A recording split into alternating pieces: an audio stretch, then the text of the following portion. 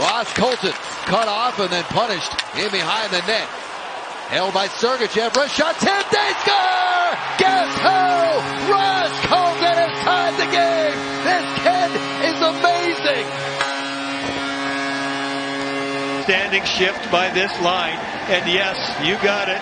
Who else would do it but Ross Colton? Look where he is, in behind everybody. Sergachev with a brilliant pass. Some good fortune for Colton because that one would not have gone in on its own. It was going horizontal to the